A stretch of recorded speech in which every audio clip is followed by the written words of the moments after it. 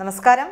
മുസ്ലിം ലീഗിനെ വീണ്ടും കടന്നാക്രമിച്ച് മുഖ്യമന്ത്രി പിണറായി വിജയൻ രംഗത്തെത്തിയിരിക്കുകയാണ്. ലീഗ് ജമാഅത്തെ ഇസ്ലാമിയുടെ മേലങ്കി അണിയുകയാണെന്ന് കുറ്റപ്പെടുത്തിയ മുഖ്യമന്ത്രി വർഗീയതയുടെ കാര്യത്തിൽ ലീഗ് എസ് ഡി പി ഐയോട് മത്സരിക്കുകയാണെന്നും നുണ പ്രചരിപ്പിച്ചാൽ വേഗം തിരിച്ചറിയുന്ന കാലമാണിതെന്ന് ഓർമ്മിക്കണമെന്നും പറഞ്ഞു. മലപ്പുറത്ത് സി പി എം ജില്ലാ സമ്മേളനം ഉദ്ഘാടനം ചെയ്യുകയായിരുന്നു അദ്ദേഹം. വഖഫ് നിയമനവുമായി ബന്ധപ്പെട്ട വിഷയത്തിൽ ലീഗിനെതിരെ രൂക്ഷ വിമർശനമാണ് മുഖ്യമന്ത്രി ഉന്നയിച്ചത്.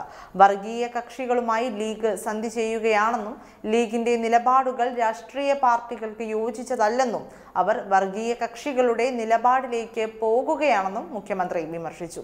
മതനിരപേക്ഷമല്ല ജമാഅത്തെ ഇസ്ലാമിയുടെ നിലപാടെന്നും അവർ പൊയ്മുഖങ്ങൾ കാണിക്കാൻ ശ്രമിക്കുമെന്ന കാര്യം ആളുകൾക്ക് മനസ്സിലായി തുടങ്ങിയെന്നും മുഖ്യമന്ത്രി പറഞ്ഞു. ലീഗ് എസ് ഡി പി എയെ പോലെ തീവ്രമായ രാഷ്ട്രീയ നിലപാട് കൈക്കൊള്ളുകയാണ്.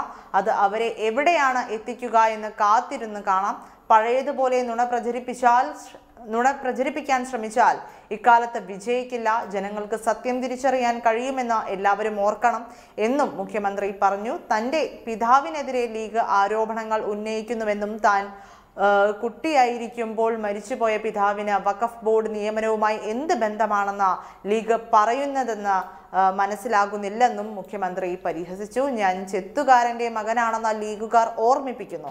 അതിൽ അഭിമാനിക്കുന്നയാളാണ് അഭിമാനിക്കുന്ന ആളാണ് ഞാനെന്ന് നേരത്തെ തന്നെ പറഞ്ഞിട്ടുള്ള കാര്യമാണ് എന്നും അദ്ദേഹം വ്യക്തമാക്കിയിട്ടുണ്ട്. അതേസമയം കേരയിൽ പദ്ധതിയെക്കുറിച്ച് മുഖ്യമന്ത്രി കഴിഞ്ഞ ദിവസം വീണ്ടും വ്യക്തമായ ഒരു ധാരണ നൽകിയിരുന്നു. കേരയിൽ പദ്ധതിയെ എതിർക്കുന്നവർക്കെതിരെ വിമർശനം ഉന്നയിച്ച് തന്നെയാണ് മുഖ്യമന്ത്രി പിണറായി വിജയൻ ഈ വിഷയത്തെക്കുറിച്ച് ആധികാരികമായി സംസാരിച്ചത്. പദ്ധതി നടപ്പിലാക്കുന്നതിനെതിരെ ഉയർന്നു വരുന്നത് അനാവശ്യ ബഹളമാണ് ആരെയും ഉപദ്രവിക്കാനല്ല സർക്കാർ പദ്ധതികൾ. സിൽവർ ലൈൻ പദ്ധതി നടപ്പിലാക്കുമ്പോൾ ആരും ദുഃഖിക്കേണ്ടി വരില്ല. പുനരധിവാസവും നഷ്ടപരിഹാരവും ഉറപ്പാക്കിയായിരിക്കും പദ്ധതി നടപ്പിലാക്കുക. ആർക്കൊക്കെ നഷ്ടങ്ങൾ സംഭവിക്കുന്നുവെന്ന് ആർക്കൊപ്പം ഇടത് സർക്കാർ ഉണ്ടാകുമെന്നും മുഖ്യമന്ത്രി പറഞ്ഞു. സി പി എം മലപ്പുറം ജില്ലാ സമ്മേളനത്തിന്റെ പൊതുസമ്മേളനം ഉദ്ഘാടനം ചെയ്ത് സംസാരിക്കുന്ന സാഹചര്യത്തിൽ തന്നെയാണ് മുഖ്യമന്ത്രി കേരയിൽ വിഷയത്തെക്കുറിച്ചും സംസാരിച്ചത്. നാടിന്റെ വികസനത്തിനെതിരായ ചില ക്ഷുദ്ര ശക്തികളുടെ പ്രചാരണങ്ങൾക്കെതിരെ ജാഗ്രത പുലർത്തണം.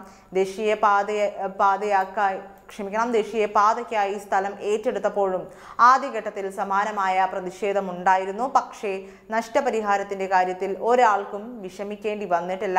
മലപ്പുറത്ത് വലിയ പ്രശ്നമുണ്ടായിരുന്നു. ദേശീയ പാതയ്ക്കായി ഇരുന്നൂറ്റി മൂന്ന് ഹെക്ടർ ഭൂമി ഏറ്റെടുക്കേണ്ടി വന്നു. ഇതിൽ ഇരുന്നൂറ് ഹെക്ടർ ഏറ്റെടുത്ത് ഏറ്റെടുത്ത് നൽകി. ഇതിനായി നഷ്ടപരിഹാരത്തിന് മാത്രം രണ്ടായിരത്തി എഴുന്നൂറ്റി എഴുപത്തി രണ്ട് കോടി രൂപ ചിലവാക്കി.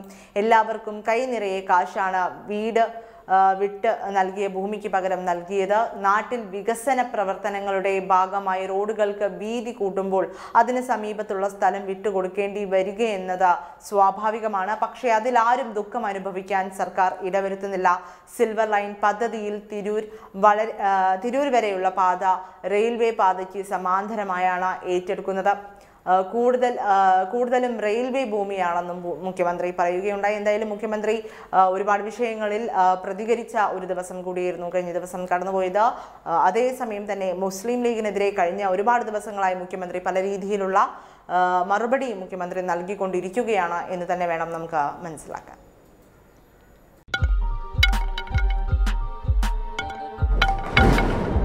Like and subscribe to channel Kerala channel Kerala, channel by NBC Broadcast.